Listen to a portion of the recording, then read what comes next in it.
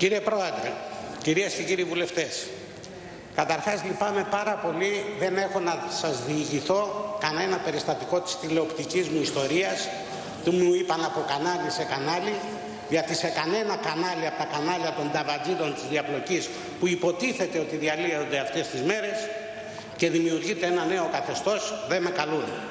Χαρακτηριστικό είναι ότι η δήλωση του εκπροσώπου τύπου του κόμματός μας διαρκείας 30 δευτερολέπτων πριν δύο ημέρες δεν μεταδόθηκε παρά μόνο λογοκριμένη από το κρατικό τηλεοπτικό σταθμό.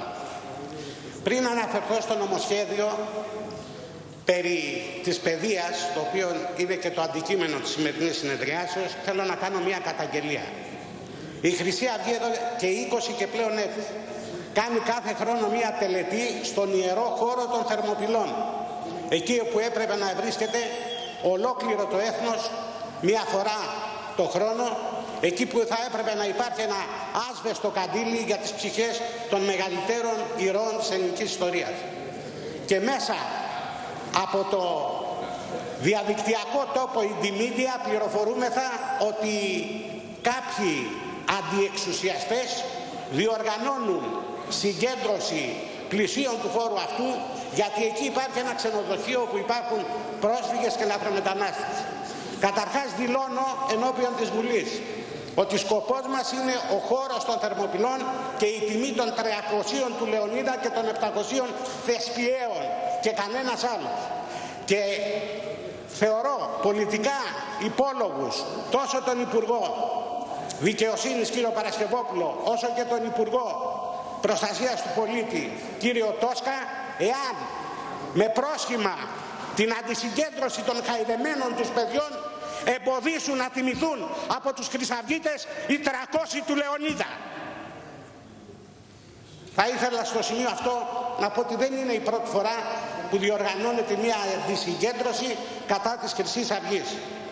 Και είχαμε και πρόσφατο παράδειγμα τον άγριο ξυλοδαρμό του διοικητή της τροχέας μέσα στο κέντρο των Αθηνών στην οδό Πανεπιστημίου και τις τραγικές κατά την άποψή μου, κατά τη γνώμη μου δηλώσεις του Υπουργού Προστασίας του Πολίτου ότι ήταν κάποιοι τους οποίους δεν ξέρουμε κλπ. Και μάλιστα αναφέρθηκε και είπε ότι δεν φταίμε εμείς, το παραλάβανε το καθεστώς των εξαρχείων. Το ερώτημα είναι που ήταν ο κύριος Τόσκας όταν υπήρχε το καθεστώς των εξαρχείων; Γιατί δεν νομίζω να υπήρχε σε καμία από τις συνιστώσεις του συνασπισμού του 4%. Υπήρχε κάπου αλλού. Και επί των ημερών εκείνων πράγματι συνέβαιναν αυτά τα πράγματα, τα θλιβερά πράγματα τα οποία συνεχίζουν να γίνονται. Η Νέα Δημοκρατία είχε διακηρύξει ότι θα κλείσει το Indymedia. Δεν έγινε τίποτε. Η, το κράτος ολόκληρο, ακόμη και σήμερα, ο ΣΥΡΙΖΑ δέχεται επιθέσεις από αυτούς τους κύκλους. Έχουν γίνει μάλιστα και επιθέσεις εναντίον της κατοικίας υπουργού του ΣΥΡΙΖΑ και δεν γίνεται τίποτε. Φαίνεται υπάρχουν κάποιες δυνάμεις που βρίσκονται πιο ψηλά και από την εκάστοτε κυβέρνηση της Ελλάδος που συντηρούν αυτά τα φαινόμενα. Είναι οι δυνάμεις του Τζορτ Σόρος και όλων αυτών των γερακιών της παγκοσμιοποίησης που θέλουν να διαλύσουν το εθνικό κράτος. Η παιδεία, σύμφωνα με το άρθρο 16 του Συντάγματος, έχει σκοπό την εθνική και θρησκευτική διαπαιδαγώγηση των Ελλήνων. Και δεν βλέπουμε σε καμία περίπτωση με το νομοσχέδιο αυτό να εξυπηρετείται η εθνική και θρησκευτική διαπαιδαγώγηση των Ελλήνων.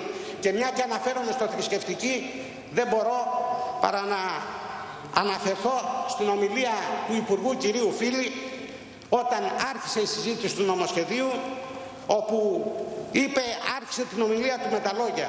Η συζήτηση γίνεται σήμερα λίγες ημέρες πριν τον αγιασμό. Βοήθειά σας κύριε Φίλη. Εγώ νόμιζα ότι θέλετε να κάνετε λέγατε ουδετερόθρησκο κράτος. Τώρα σιγά σιγά θα ντυθείτε και παπαδάκια από ό,τι βλέπω γιατί βλέπετε πίσω από τους ιερείς και τους ιεράρχες κρύβονται πολλοί ψήφοι και δεν τολμάτε να βγάλετε τα μαρξιστικά σας αποθυμένα που λένε ότι η θρησκεία είναι το όπιον του λαού.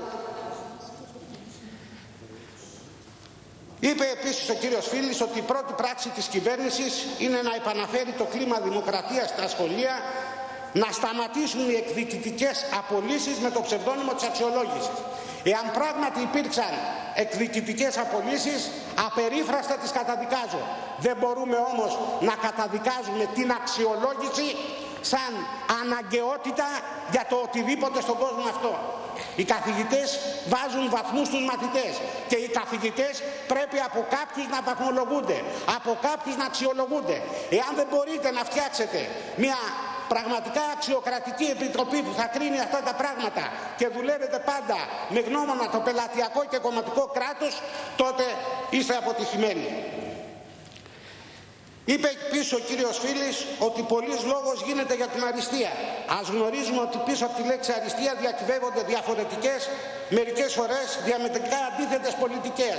Ναι, πράγματι, το είπε και ο Υπουργός σας, ότι πίσω από την αριστεία κρύβεται ένα φασιστικό καθεστώς. Ίσως για σας φασιστικό καθεστώς είναι ένα καθεστώς το οποίο είναι εθνικιστικό, το οποίο δίνει τη δυνατότητα στους άριστους να προχωρούν και όχι στους αρεστούς στο πελατειακό και κομματικό κράτος. Ένα τέτοιο καθεστώς που μπορεί να φέρει στην Ελλάδα μόνο η Χρυσή Αυγή.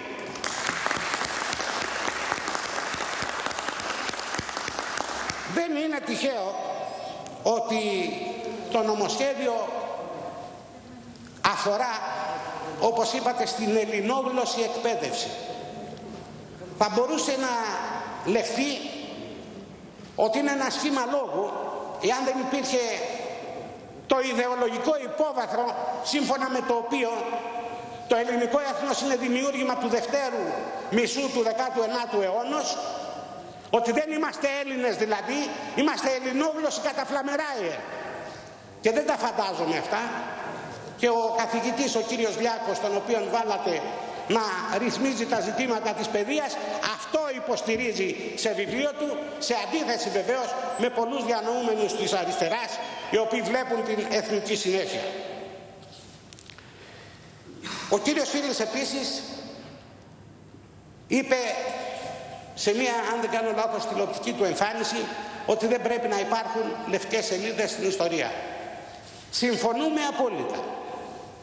Τι θα γράψετε όμως για αυτή την περίοδο; Θα βάλετε αποσπάσματα από την ορθοκοστά του Θανάση Βαλτινού που είναι και αριστερός που μιλάει για τη σφαγή δεξιών πατριωτών από τους αριστερούς. Θα βάλετε για τη σφαγή του Μενιγαλά. Είναι καιρός πιστεύετε και είστε εσείς οι κατάλληλοι ένα κόμμα που μέχρι πριν λίγα χρόνια είχατε 4% και ανήκατε στην εξτρεμιστική αριστερά να δημιουργήσετε μια ιστορία η οποία δεν θα φέρει εθνικό διχασμό. Υπήρξε ένας μεγάλος άνδρας διανοούμενος της αριστεράς, Ιταλός, με το όνομα Γκράμψη, ο οποίος είχε πει ότι και η θεωρία του αποκαλεί τον γκραμσισμός ότι αν καταλάβουμε όλες τις θέσεις της διανόησης, όλες τις θέσεις της παιδείας, σίγουρα θα έλθει και η εξουσία στα χέρια μας. Και πράγματι το επιτύχατε. Και το επιτύχατε και πολιτικά, παίρνοντας την κοινοβουλευτική πλειοψηφία μαζί με το κόμμα των ανεξαρτήτων Ελλήνων, αλλά όμως δεν φέρατε κομμουνισμό. Τι είναι αυτό το οποίο μας είπε επίσης ο κύριος Φίλης και είναι απόλυτα σχετικό, ότι υπήρξαν κινήματα διεκδικήσεις, υπήρξε ενδιαφέρον για την πραγματική δημοκρατική εκπαίδευση και κατηγορείται και ο Κωνσταντίνος Καραμαλής, ο παλαιότερος γι' αυτά, ως σοσιαλμανής. Πράγματι έτσι είναι. Οι πύλες της παιδείας στην αριστερά και στην πλήρη κυριαρχία του μαρξισμού δεν είναι υπόθεση των 20, 18, 20 μηνών που κυβερνά ο ΣΥΡΙΖΑ. Είναι υπόθεση από το 1974 μέχρι σήμερα. Και δεν είναι τυχαίο, καθόλου τυχαίο, ότι στις εκλογές που γίνονται στο χώρο των πανεπιστημιακών η αριστερά παίρνει το 90 σχεδόν της 100. Τι συμβαίνει; Όλοι οι υπόλοιποι Έλληνες που είναι δεξιοί και ντρόοι, είναι χαζοί και όλα τα λαμπρά μυαλά, όλα τα υψηλά IQ είναι στην αριστερά; Όχι βέβαια. Έχει δημιουργηθεί μια συντεχνία, έχει δημιουργηθεί μια βιομηχανία παραγωγής καθηγητών και λεκτόρων και γι' αυτό το πράγμα υπεύθυνη είναι και ας μην διαμαρτύρεται η Νέα Δημοκρατία. Ε, η οποία άνοιξε τις πύλες του μαρξισμού στην παιδεία. Επίσης, ο κύριος Φίλης στην ομιλία του αναφέρθηκε και στο προσφυγικό. Δεν θα πω ακριβώς τα λόγια για να μην καταχραστώ και το χρόνο και μίλησε για τμήματα ένταξης στα σχολεία γύρω από τα κάμπ. Εννοείται στα hot spots, δηλαδή μέσα νηπιαγωγεία. Την ίδια στιγμή που ένα μεγάλο μέρος των Ελλήνων δεν μπορούν να στείλουν τα παιδιά τους στους παιδικούς σταθμούς και σε νηπιαγωγεία. Αλλά εν πια περιπτώσει σε αυτά τα hot spot τι είδους νηπιαγωγεία θα φτιάξετε; Μαροκινών, Αλγερινών, Ιρακινών, Σύρων και πού θα βρεθούν αυτοί που θα τους διδάξουν; Μας δίνει την απάντηση ο κύριος Φίλης λέγοντας έχουμε εξασφαλίσει από τον Διεθνή Οργανισμό Μετανάστευσης 9 εκατομμύρια ευρώ για τις μετακινήσεις Έχουμε 7 εκατομμύρια από κοινοτικού πόρους για την οργάνωση και το εκπαιδευτικό προσωπικό. 16 εκατομμύρια ευρώ για την εκπαίδευση σε βαθμό νηπιαγωγείου στα hot spot. Πού θα πάνε αυτά τα λεφτά κυρίες και κύριοι συνάδελφοι; Στις μη κυβερνητικές οργανώσεις του Τζορτ Σόρος και στην κομματική πελατεία του ΣΥΡΙΖΑ των αλληλέγγυων οι οποίοι διορίζονται. Δεν έχουν σταματήσει οι διορισμοί στο ελληνικό κράτος. Μην πιστεύετε ότι ισχύει κάτι τέτοιο. Συνεχίζεται. Στη συνέχεια θα ήθελα να αναφερθώ στο μέγα ζήτημα με το οποίο ασχολείται και το παρόν νομοσχέδιο αλλά ασχολείται και ο ΣΥΡΙΖΑ γενικά ότι είναι δυνατόν να αποδοθεί η ηθαγένεια σε όσους μετέχουν της ελληνικής παιδείας. Και πολύ συχνά ακούστηκε πάλι στην αίθουσα αυτή αυτό το πράγμα χρησιμοποιούν τη ρίση του Ισοκράτους που έχει ως εξής και μάλλον, μάλλον Έλληνες καλείστε τους της παιδεύσεως της ημετέρας ή τους της κοινής φύσεως μετέχοντας.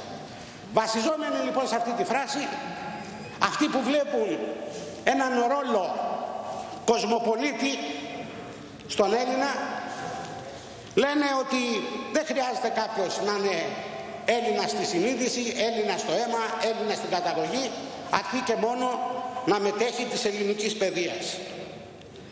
Χρησιμοποιώ στο σημείο αυτό ένα απόσπασμα από την ιστορία της αρχαίας Ελλάδος του Ούλριχ Βίλκεν το οποίος έχει μεταφράσει ο καθηγητής του Πανεπιστημίου της Θεσσαλονίκης ο κύριος Τουλουμάκος ο οποίος λέει τα εξής ο Ισοκράτης αναφέρει βέβαια στο πανηγυρικό του, το 380 π.Χ. ότι η Αθήνα υπερέχει τόσο πολύ στη σκέψη και το λόγο, ώστε οι ταύτης μαθητέ των άλλων διδάσκαλοι γεγόναση και το των Ελλήνων όνομα πεποίη και μικέτη του γένους, αλλά της διανοίας δοκίν είναι και μάλλον Έλληνας καλύστε του της παιδεύσεως της μετέρας ή της κοινής φύσεως μετέχοντας. Ωστόσο, με τη φράση αυτή εκδόσεις Παπαζήση παρακαλώ το βιβλίο. Όχι από κανέναν φασιστικό ή εθνικιστικό εκδοτικό οίκο και διδάσκεται στο Πανεπιστήμιο Θεσσαλονίκης. Δεν ξέρω αν τα τελευταία χρόνια έχει αποσυρθεί ωστόσο με τη φράση αυτή ο Ισοκράτης δεν θέλει να συμπεριλάβει όπως υποστηρίχθηκε συχνά στους Έλληνες και τους εξελινισμένους αυτούς βαρβάρους γιατί γι' αυτό οι βάρβαροι εξακολουθούν να είναι οι φυσικοί εχθροί των Ελλήνων. Πανηγυρικός παράγραφος 158, Παναθηναϊκός παράγραφος 163. Το νόημα της φράσης είναι μάλλον ότι ο Σοκράτης θεωρεί πραγματικούς Έλληνες μόνο όσους έχουν λάβει αττική μόρφωση. Σταματήστε επιτέλους τη διαστρέβλωση των λόγων του Σοκράτου. Οι Έλληνες γεννιούνται, δεν γίνονται μέσα στα σχολεία. Θα ήθελα να τελειώσω με τα λόγια ενός ξεχωριστού πνευματικού άνδρα που επέλεξε από αηδία την εθελούσια έξοδό του από τη ζωή του αείμνηστου καθηγητού Λιαντίνη από το βιβλίο του «Τα ελληνικά» το οποίο εγγράφει σε μια εποχή γιατί σίγουρα δεν έχει διαλύσει ο ΣΥΡΙΖΑ την παιδεία. Όλο το μεταπολιτευτικό καθεστώς την έχει διαλύσει. Γράφει λοιπόν ο αείμνηστος Διαντίνης και με τα λόγια του αυτά τελειώνω. Σήμερα μια μιλόπετρα πλακώνει την παιδεία των παιδιών μας. Ένας βραχνάς γράφει το παρόν μίζερο και διαγράφει απέσιο το μέλλον της χώρας. Γιατί η αγωγή των νέων είναι κακή και η αγωγή των νέων είναι το θεμέλιο της πολιτείας. Αυτό ξεριζώνεται, αυτό αποσαρθρώνεται με όσα κάνετε. Η παιδεία των νέων είναι το δυνατό αίμα και ο αέρας ιωδίου για το μέλλον των λαών.